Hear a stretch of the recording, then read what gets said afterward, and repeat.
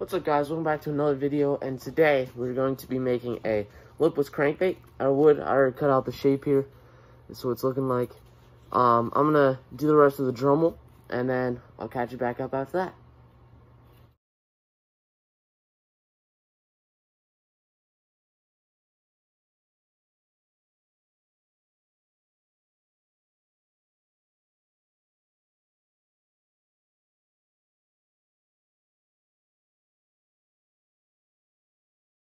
Alright guys, so I just finished uh, using the Dremel on this. Looking pretty good. I like the shape a lot. Turned out pretty well.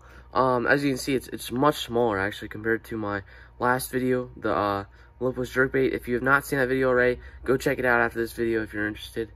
But, um, so I'd mentioned that. And next step is sanding, a lot more sanding. Uh, get all these edges out.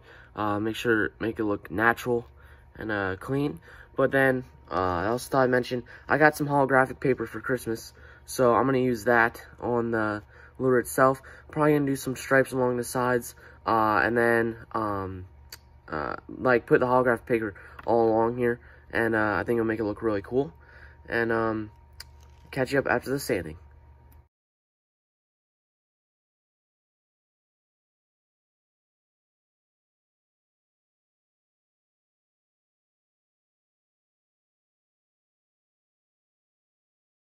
Alright guys, so I just finished sanding. Uh, looking pretty good. I, I love the shape. Um, it kind of has a natural bend in it, which is going to make the action uh, look pretty interesting. I'm looking forward to seeing that in the summer. And um, uh, next step is to add the line ties, uh, hook hangers, and also uh, the weights in the bottom, the split shots, and add the baking soda and super glue. Um, I'm not going to film that this time since I already have in the uh, previous videos. I'm just going to time-lapse that. But if you want to see it more in depth, on how to do uh, that and add all the uh, the hardware and everything into the lure, uh, check out my previous video uh, on making a lipless jerkbait.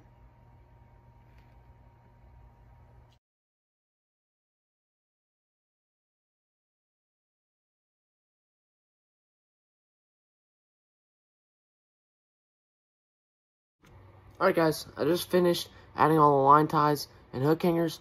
Now it's time to add all the weights and uh, since it's a crankbait, uh, I want to add just, uh, I put some X's here. I'm going to put some uh, weights in front and behind of the bottom hook hanger. I want more weight in the front, so that way whenever I reel in, uh, it'll be tilted this way and then it can dive a little bit, even though it doesn't have a uh, Lexan polycarbonate or just any strong plastic lip. Uh, hopefully in the future I'll be able to find some scraps or be able to get some uh, of that plastic, but uh, so far this is what I'm working with, and uh, I'll catch you up after I have all the weights in.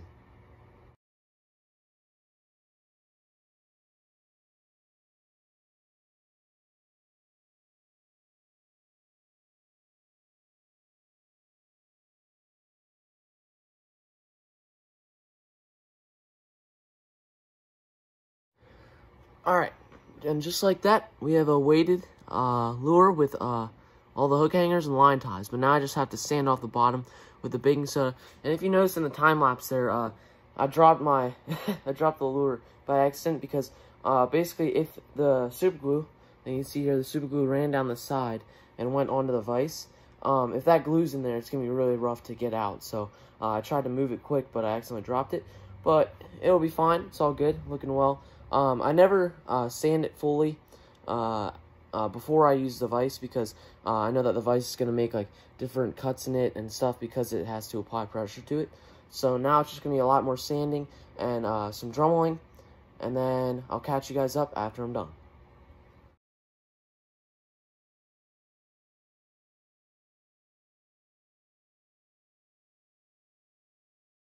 Alright guys, just finished sanding the bottom. Uh, if you didn't know the baking soda, that's what this stuff is uh, baking soda, and then the super glue. Uh, thin super glue works great. Um, it's kind of like liquidy, uh, but um, it works great to just cover up the lead holes. If you're a bait maker, I, I, I think it's a very good idea to invest in that because um, uh, makes your finish look much better uh, with the bottom. Uh, like here, I should have done some more sanding on the past video. Like there's some gunk there, but you can't even tell that there was uh, weights down here. So that's also a uh, very good reason to use the super glue. But now basically just cleaning up the line ties because I use Gorilla Glue and that stuff expands. So uh, you want to make sure that Uh, you always clean out your hook hangers and everything. But um, other than that, there's just going to be a lot of sanding. And then uh, make sure you tune in for uh, part two of this because that's when I'm going to be using this really cool holographic paper to uh, uh, finish the outside and also be painting it. Uh, there's going to be no carvings on this. I'm not going to have to add anything. But um, also, I just wanted to let you guys know, uh, in the future, hopefully I'll be able to upload this weekend. Maybe not. But uh, in the future, I'm, I'm working on this really cool lure. Uh, I think you guys will be really interested in. But uh, make sure to go check that out. Uh, hopefully I'll be able to upload that in the near future. But thanks for watching, and see you in the next one.